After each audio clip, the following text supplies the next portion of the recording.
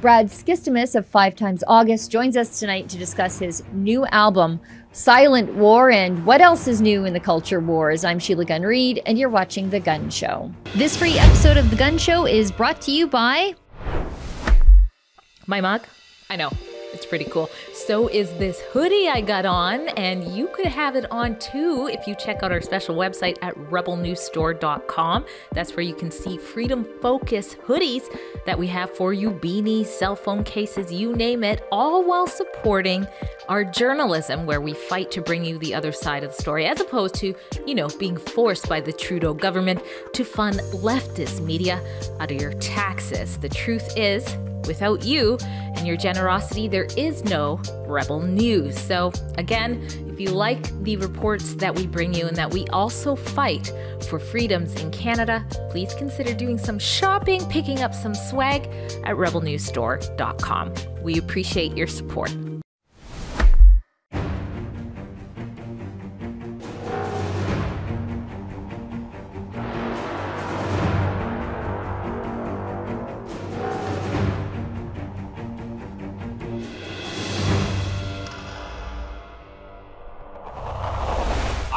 Fed up with constantly searching for the records you want?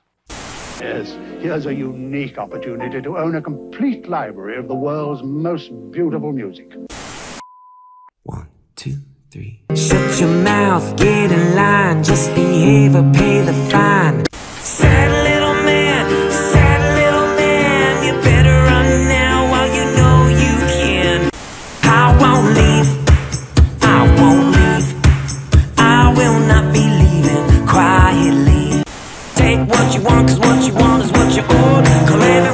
Fascist till they're all controlled.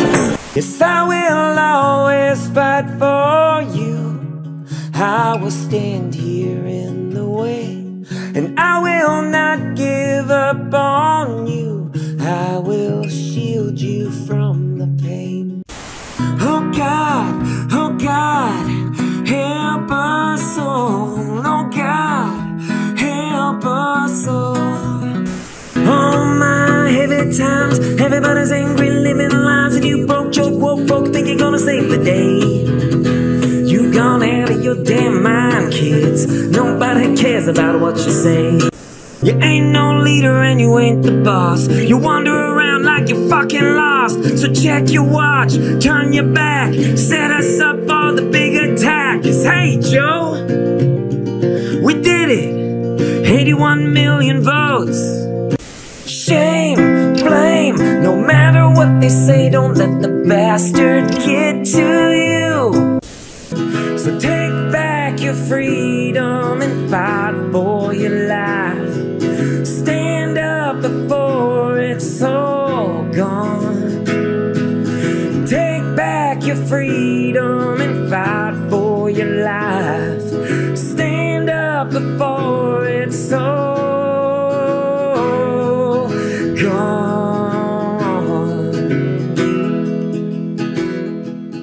What you just saw there is the trailer for the new album by Five Times August, otherwise known as Brad Skistimas. He's an independent musician who has really taken a stand, especially during the pandemic, in the interest of free thought and free expression. And the beauty is, he's an independent musician, so he's really not beholden to anybody. And he has taken some, I guess, what would be considered controversial um, in pop culture stances on issues of COVID and vaccination and Justin Trudeau's war on peaceful protesters. But really, they are mainstream viewpoints that um, Hollywood and the music industry don't think normal people should hold. For example, Brad's video for his single This Just In was incredible. Take a look at this.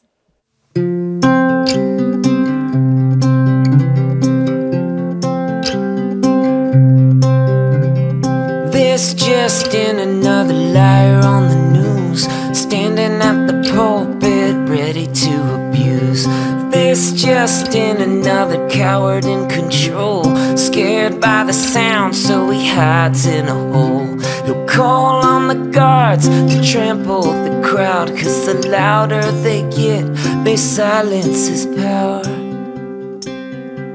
Shame, blame, no matter what they say, don't let bastard get to you. He's gonna try to shut us down, but we'll stand our ground. Hey, this Justin, he'll lose.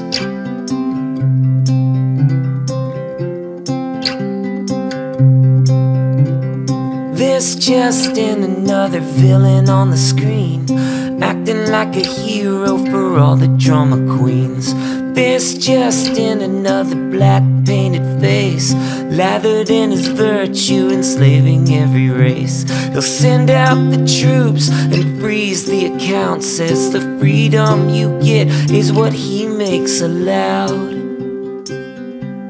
Shame, blame, no matter what they say, don't let the bastard get to you. He's gonna try to shut us down, but we'll stand ground. Hey, this Justin, he'll lose.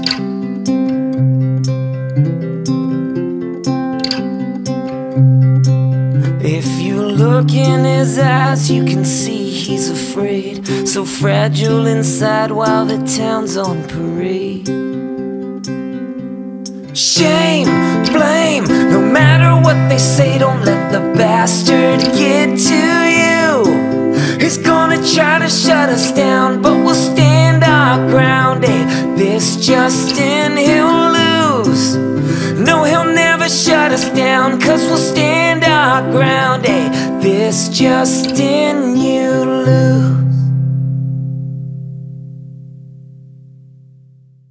So, joining me now to discuss his new album, Silent War, and the war on the minds of our children through pop culture brainwashing is Brad Skistimas, or Five Times August. This free episode of The Gun Show is brought to you by it's the values.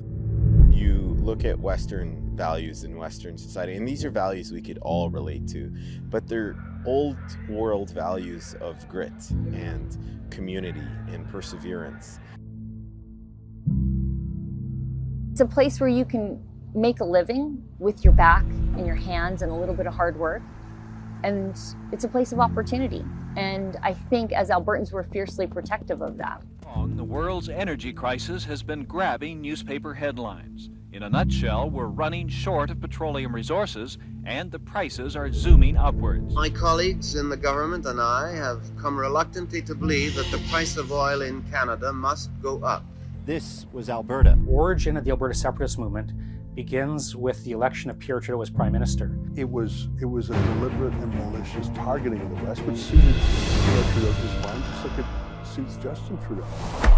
So joining me now is Brad Skistimas from Five Times August. Brad, thanks so much for coming on the show. I wanted to have you on the show. Um, well, first of all, because you have new music out, and because you are one of the few people in, I think, music. There are more now than ever before who are outspoken about the flaws of the pop culture world. It seems to be only acceptable to have an homogenous viewpoint on social issues, on cultural issues.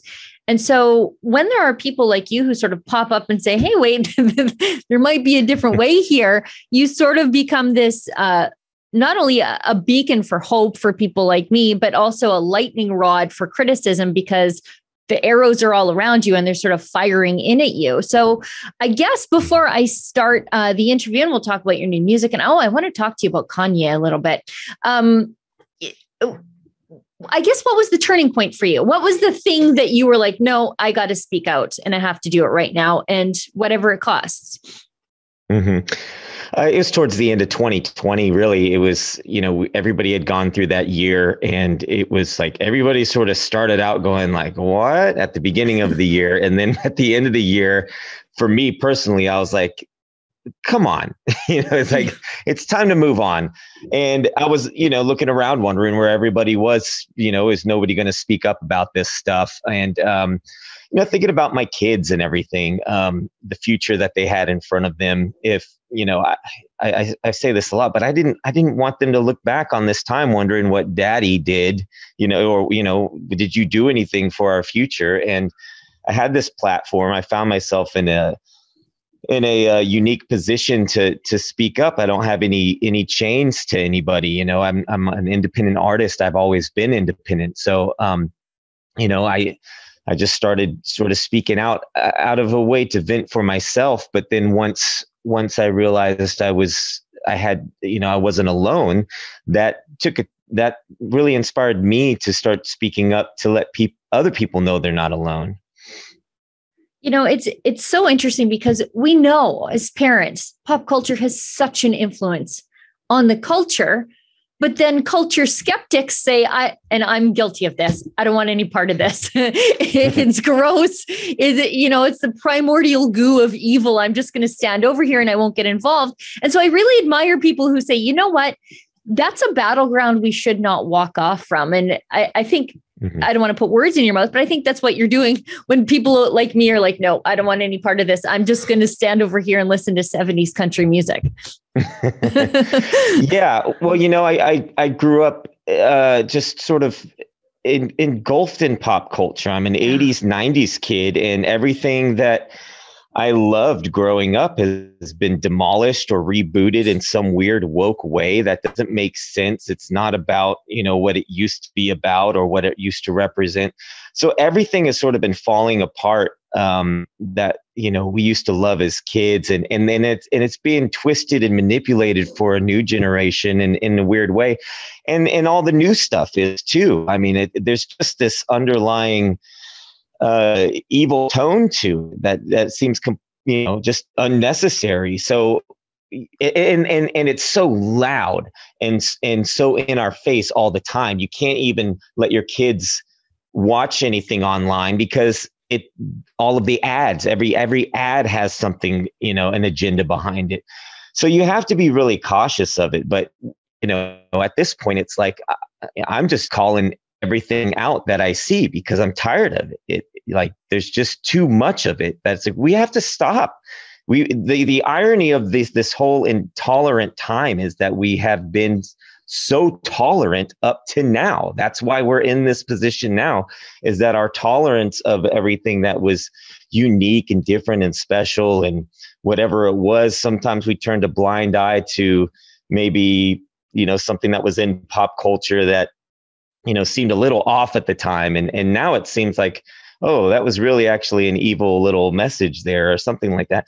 But i'm very just like uh, aware of it now and i'm exhausted of it. So you know i take to twitter a lot and just rant about whatever i see. But uh, we have to you know at this point the the line in the sand has been drawn and it's like you can either keep going down this road and this path and it's going to get weirder and uglier and we're on a slippery slope or we can start calling it out now and and and, and you know bring awareness of it to to others that may not be awake yet or something um, but we have to start walking away from it too and building our own sort of pop culture our new pop culture you know uh, yeah, I, that's a very interesting point. I want to come back to that. But uh, you know, you one of the things that you're very uh, vocal about on your Twitter account is you know this drag queen performances for kids, and I think it is it is the perfect confluence, the intersection, to use the language of the left, of the mm-hmm. postmodern war on beauty mm-hmm. and this leftist cultural Marxist war on the minds of our children. And mm-hmm. it is just manifesting at the local library for some reason. So even places where, you know, you used to you used to send your kids to the library when you didn't want them to watch so much TV. And so I guess right. the evil forces of the universe were like, oh, down there, that's where the parents who send their kids, uh, the parents who worry about what's infesting their kids' minds, send their kids. Let's go get those parents down there too. And uh, you know, it's it's atrocious. But again, you you mentioned the slippery slope this is it. Like we're hurtling towards mm-hmm. the bottom, and the snowball mm-hmm. is enormous. And the snowball is drag queen story hour. Yeah, yeah. It's just uh, it's just insanity. As you as you're talking there, I was actually thinking about how controlled information is online, and you know, our only escape now from the information that we receive online is to go back and find those, you know, that physical information. We used to have books and records and uh, you know DVDs, whatever it may be, and so to have that that one outlet, right? If you go to a library for information and it's all hard copy information, and um, I, this is sort of just a twist on what you're saying, but I was thinking like it's weird that we can't even go there now because you know that that in, that information that agenda has seeped its way in to where it's not even about going to escape in a world of knowledge now those libraries have become a, a parade and a circus for this weird agenda um, so it's just another battle with our kids. But, uh, you know, more so, uh, it's like, what are the parents thinking? Why are they bringing their kid? What parent in their right mind is like, you know what? That's a, let's go, let's take you to that. Because I had an experience recently. I took my kids. Now, I don't take my kids to Drag Queen Story Hour. I took my kids to, uh, to a symphony recently, and my eight year old son is into piano, like he loves piano. And he looked at the piano player and he leaned into me and he goes, Hey, that could be me someday. And I couldn't help but think about these kids that are being exposed to what they're seeing at these drag queen story hours where these people come out and you know they're they're they're mocking women first of all and and how it's like a cartoonist uh, impersonation of what a woman is supposed to be. And then they're spreading their legs, they're dancing to these nasty songs. How many kids are looking at them? My point is, how many kids are looking at them going, oh, that could be me someday? And every bit of information you're putting in front of these children, they're thinking that. Could that be me someday? What do I like about this? What do I want to take away from this? It might not be a drag queen, but it might be dancing for money. You know, it, it, it's it, there's many different layers to it and uh, so it, it's shocking that you know parent there's so many parents out there that are willing to even show up to these things and encourage their their babies to hand money to these people and to and it just keeps perpetuating itself and, and it's part of that slippery slope that's just going to keep getting weirder because it won't be good enough right what, what do we do every time we we push the boundaries every time. So now we're we're slammed up against the wall right now with Drag Queen Story Hour for children. What comes after that? Right? How do they push it after that? It's going to be, you know, furry time for whatever, like the people that dress up in leather dog outfits, and it's going to keep finding its way further and further down the way. And uh, so that's what I'm saying. We have to stop. We have to sort of say, hey, this might be a little too much in society. You know, be yeah. be you, but yeah. um, maybe you don't have to shove that in front of other people's kids. Yeah, eh, you know, you see these kids giving the money at the drag queen story hour, and they always have this look that they give their parents, like they're seeking yeah. approval from right. their parents. And you know, you think about it. You think about how many people go into the family business. Maybe they're a carpenter, maybe they're a musician like your kids. And right you know, a lot of that is because they learn to love the business, but they're also seeking the approval of their parents. Right. And I, I, see a lot of that with these little people going to drag queen story hours. The same as when my kid scores a try playing rugby, she turns around to make sure I'm watching. Right. But we're not doing that with kids anymore. We're taking them to drag queen story hour and saying, here, stick this in this man's yeah. G string for approval. Yeah. And it's uncomfortable to even say that. Like, as you're saying it to me, I'm like, why is that even a sentence in these times? Eh, eh, but yeah, you're right. There's always that look of like, should, is this what I'm supposed to do? And, and the parents giving the okay. Yeah. When you see people doing this, you give them money. And look, that, you know, what is the message there? This could be you. You could do this. This is your future. I don't know what that is. Is is the message? You know, it's it's sort of they they guise it with they they disguise it under tolerance and acceptance and stuff. And that's one thing. That's okay. That's who you are. Okay, great.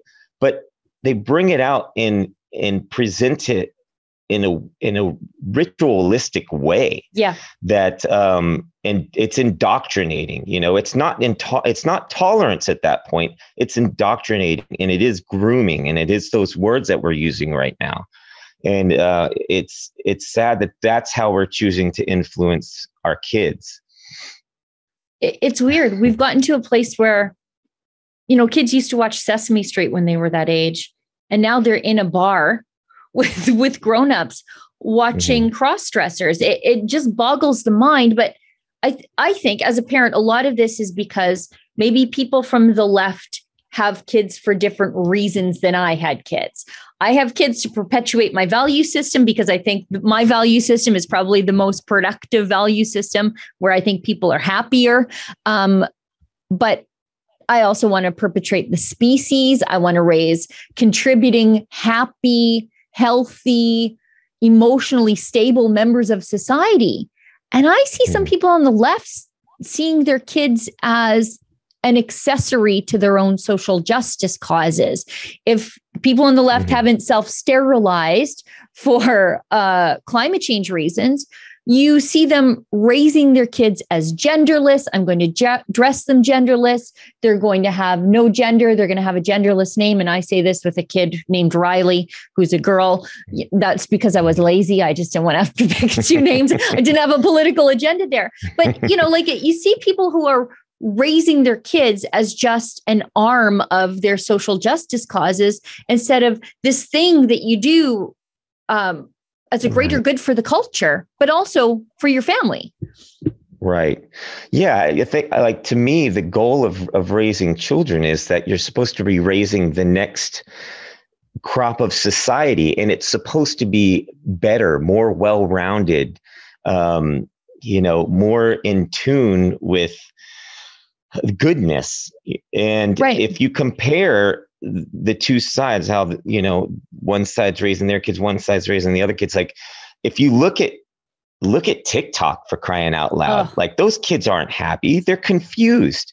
They they don't them- know who they sorry are. To, sorry to interrupt you. I look at those kids on TikTok and I say, those are future suicides. Like it, it deeply Mhm. troubles me. I can't even go on TikTok.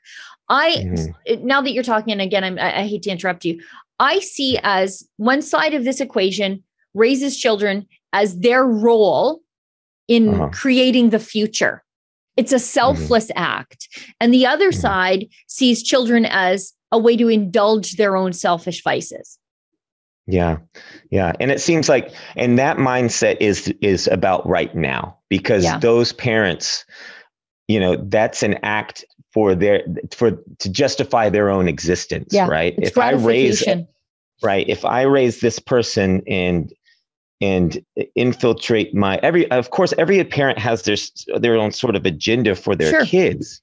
But you know there's an agenda where like you said you're trying to raise a better a, a better quality person than you even are Yeah. and then there's the the other parent that's trying to raise a human to justify everything that that parent has ever done in their life or who they are. They need the acceptance. That's why you see so many of them going after kids because a kid is a sponge and they'll just listen to you and they'll say that's great.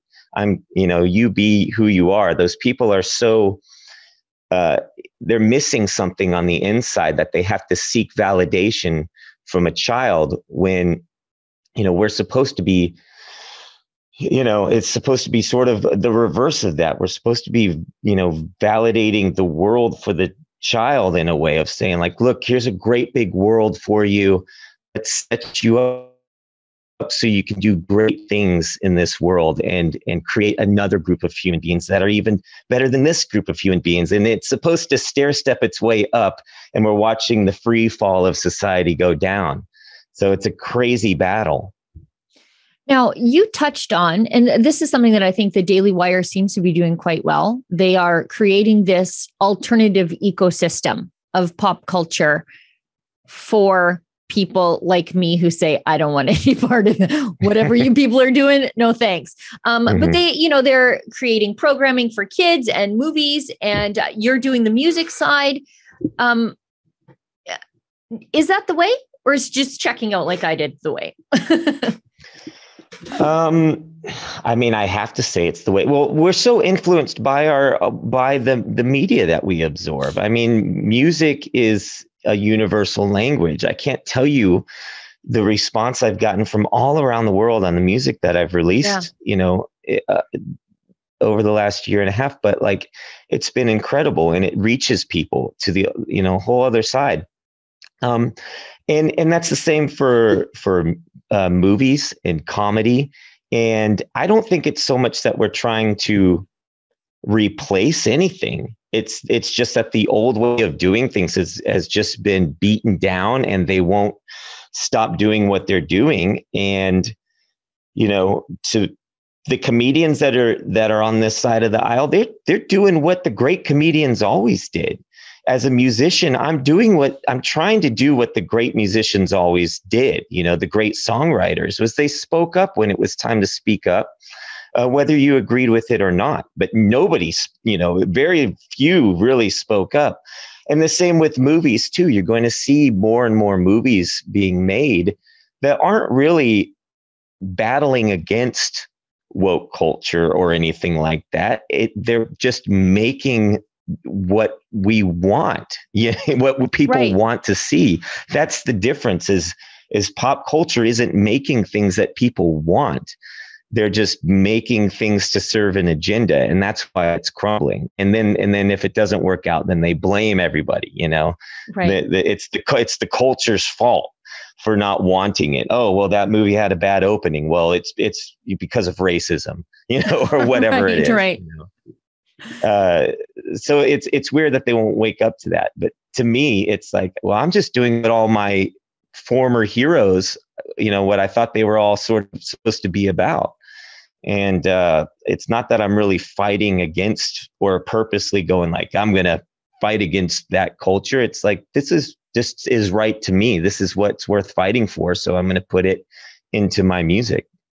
You know, I think even just from a, a purely capitalistic viewpoint, uh, wouldn't you want to make content that somebody will consume? Right. You, you know, like in Canada here, we have our, our mainstream media is subsidized by the government and nobody watches it but there's never that market correction that that uh, is required for them to fix whatever the heck they're doing over there because they always have this constant shuffle of money towards them and i sort of see that mm-hmm um, in the censorship homogeneity enforcement that you see in the pop culture in the United States, in that, um, you know, if somebody doesn't like your stuff, it, mm-hmm. it's not a flaw with your stuff, it's the flaw with the person, and we'll point over there.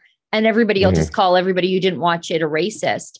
Um, mm-hmm. it, it's just, it's so interesting to see, again, as a purely capitalistic viewpoint.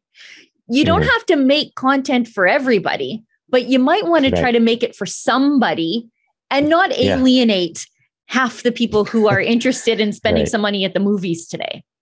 Yeah. You would think that they would perk their head up and go, you know, the last 10 movies really didn't right. do that well at the box office. Maybe we should change our approach to, to what we're making. You know, you're seeing that a lot with Disney right now. Like every move they do is a double down on what, you know, their what their agenda is. And more and more people are dropping off. I mean, speak of you speak of pop culture, and that's like at the forefront. Disney, you know, they've got their own whole Disney culture.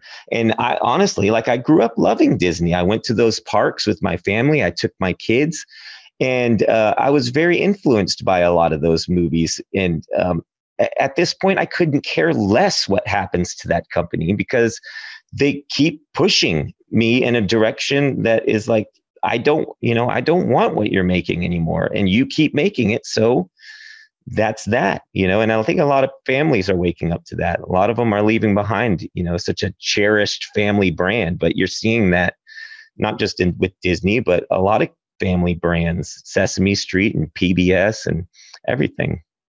It's interesting because, you know, you see the success of like Top Gun and mm. they can't figure it out. And I'm like, because it's normal. it's a yeah. normal movie, like how movies used to be without all your nonsense yeah. sort of percolating in the background. It was just a movie where right. people who are want to go to decompress from the pressures of the world where you haven't shoehorned all the pressures of the world into the movie so there's no escape for people anymore they hollywood j- just cannot figure it out now i want to ask you because another outspoken musician and doesn't matter where you fall down on his politics but kanye is part of this ecosystem building project i see um, coming out of you know the i don't don't even want to say conservative but maybe just the free speech free thought side of the aisle Mhm. um, Mhm. with his uh, proposal to buy Parler. What do you think about that? You know, um, like I've never been a super Kanye West fan. I. I appreciate, you know, I, I appreciate um, him pushing buttons is what I Sure. appreciate right now. And um, if he wants to buy Parler, uh, all right, you know, that's fine. I'd be interested to see what he does with it. I think, I think you need guys like that. Um, everybody's just so sort of um, so worn out with with what already is that if Kanye West buys Parler and Elon Musk buys Twitter and you're stirring the pot up and making it different, um, I, I think that that's good. I think that people are just pining for the, you know a, a, an a, a place to speak up where you don't feel like you have to watch what you say anymore. But and there's there's a lot of them out there. There's a good chunk of social media platforms where you can say what you want to say, but they're kind of their own uh, echo chambers right now. And it's great that they're there, but you do still need to have that public discourse where you can have somebody disagree with you and you know that you can have the disagreement and that's just that you're not going to get banned you're not going to get censored um, so you know of course like kanye he he speaks up speaks his mind and instantly we got to cancel kanye you know Good luck. um, yeah. And so we do need, you know, I'm glad to have anybody that has that large of a platform to, to really, you know, ruffle some feathers right now. Um, I just, you know, I'm not going to agree with everything he says, but I, I, you know, that's the whole point.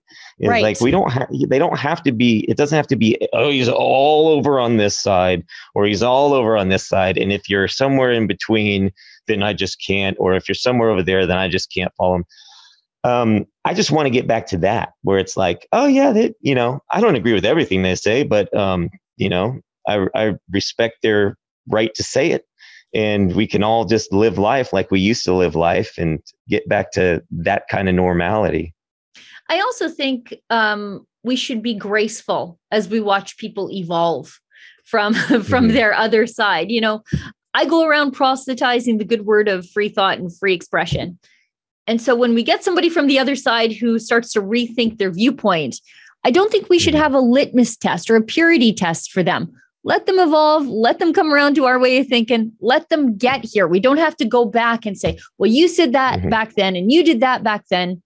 Yeah, let Mhm. them have their Saul to Paul moment on the road to Mhm. Damascus. We don't have to, you know, hold them to yeah the woke standards, but our own version of going back and and post canceling people as they change their minds and their views that we keep telling them to change their minds and their views on.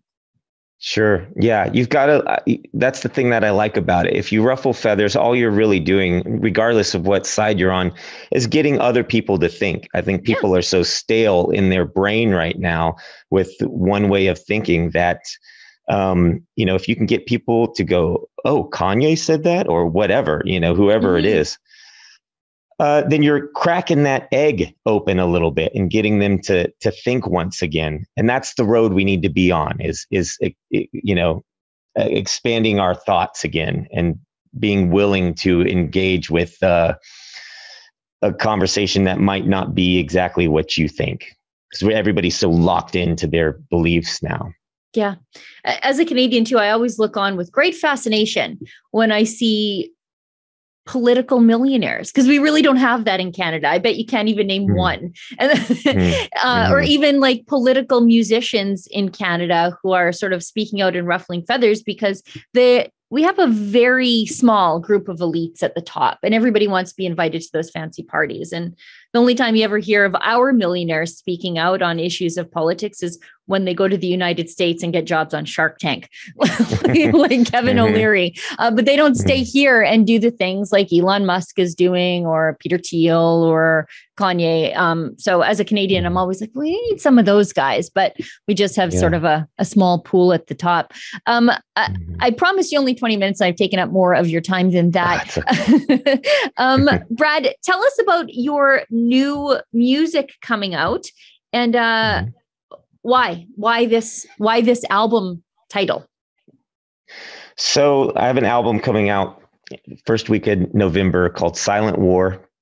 There's a song called silent war on the album and this this album actually pulls together all of the singles that i put out over the last year and a half collects them into one spot um, with with a couple more new songs, and uh, it's it's just sort of a way to document everything that I've put out. I've sort of been writing an album in real time over the last year and a half without realizing it. And then uh, people started asking, you know, where's the album? So I wanted to put them together, and it's it's been an interesting project because I, I put the track the track list in the order on the album is the order in which I released the songs, and it sort of tells a story from the beginning of where I started out as a songwriter and um, what has sort of happened and unfolded over the last year and a half. Um, so you know it just seemed time to put these songs together into one collection. It's called silent war because of the song silent war which is essentially about what we're facing. It's a, psychological war. Everybody's online.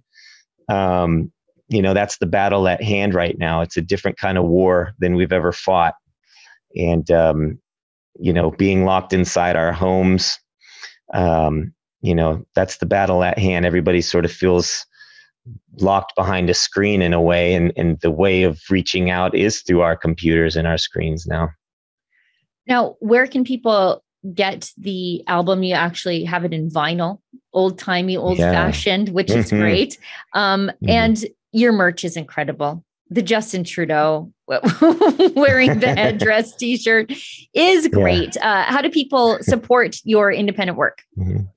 Yeah, you can go to fivetimesaugust.com, just the main website. We've got CDs and we're crowdfunding the vinyl. We've got a pre sale 200 copies. It'll be super limited edition, um, but the CDs will be available on the website and um, it'll be on all of the uh, digital music platforms as well. So, but yeah, I kind of wanted to. I wanted to take these songs and put them into a physical format because you know I want to. That's another thing that that uh, pop culture is not doing anymore. They've sort of abandoned holding the piece, you know, holding a record and listening to it. I kind of wanted to bring that back and holding a CD and reading the lyrics as you listen. I wanted to bring that back. So um, get that physical copy if you if you want it. Yeah, you know, I was thinking about that the other day, just pulling out the the sheet, the liner notes from a mm-hmm. CD. That used to be so gratifying when you took the plastic off a CD and then you ripped right. the liner out to make sure that you actually had the words you were singing right. Right. That's right. Yeah. and it was yours though, you know, it yeah. was your copy and uh, you could write in it or staple it on the wall with a bunch of other album covers. And, uh, you know, that's something that I've always loved about music was the actual physical copy of it as well. And so it, it creates an experience. So hopefully I can deliver that experience and kind of guide us back towards that kind of world of pop culture. We put on a record and listen with headphones. I got it all behind me anyway. Yeah. Well, Brad, here's to tradition and our little efforts to bring it back.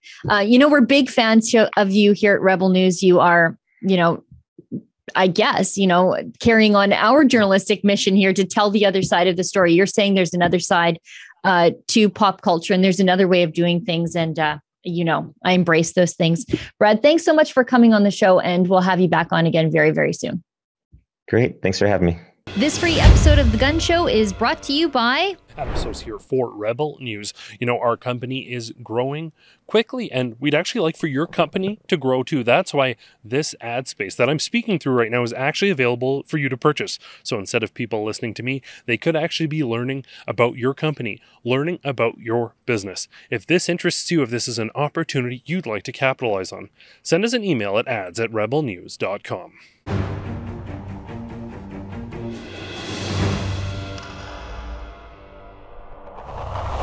Well, friends, we've come to the portion of the show where we welcome your viewer feedback. You see, unlike the mainstream media, who are just all too happy to take your money to produce something you don't want, but then tell you to shut up when you complain about the things that they're producing with your money. I actually want to hear from you. I actually care about what you think about the work that we're doing over here at Rebel News. So if you want to send me some viewer feedback, it's really easy. Sheila at rebelnews.com. That's my email address. Put gun show letters in the subject line so it's easy for me to find because I do receive hundreds of emails a day and I don't want to miss yours.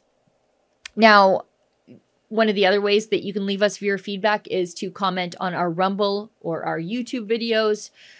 I do go looking over there for those. Uh, today's comment actually comes from YouTube, and I'm not one to support YouTube. It's a censorship platform, but today's comment was just so great that uh, I'll make an exception just this once. And it's on my interview last week with my friend and colleague and our chief documentary filmmaker here at Rebel News, Kian Simone, on his documentary called Ungovernable. It's about Alberta's quest for independence and how independence means different things to different people, but it's for Albertans to chart our own path forward. And largely for us, I think as Albertans, we just want to be left alone. And being left alone means a lot of things to a lot of different people, but it is my personal political philosophy. Leave me alone. That's it. Leave me alone. I'll leave you alone. And uh, don't use the government to make me care about the things that you care about because I don't like that. And uh, a government that cares about what I care about is a government that is way too big and way too expensive. Anyway, let's read the very great comment that I found on YouTube. It's from James C., and it's a quote.